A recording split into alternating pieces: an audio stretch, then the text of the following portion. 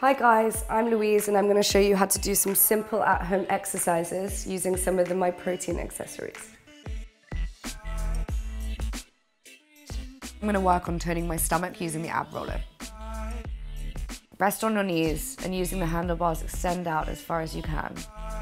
To feel the full benefits, make sure your core is engaged at all times. Now I'm going to use the medicine ball to do some Russian twists. For this exercise, balance on your bum, lifting your feet off the floor and engaging your core.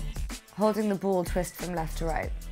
I find this exercise very useful for targeting my obliques.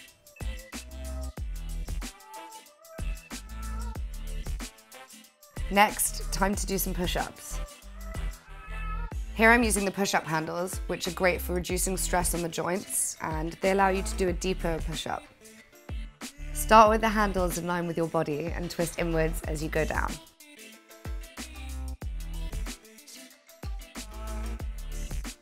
Here I'm going to use the resistance tubes to do some bicep curls. Resistance tubes are great for when you're traveling because you don't have to pack a heavy weight. Perform the bicep curls in the same way that you would with dumbbells, but standing on the tube.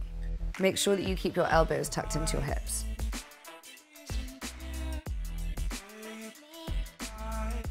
Here I'm showing you how to do knee tucks on the exercise ball. Balance your feet on the exercise ball in a plank position and bring your knees into your chest. This is a really good full body workout because you use your arms for stability and the balance means you use your entire core.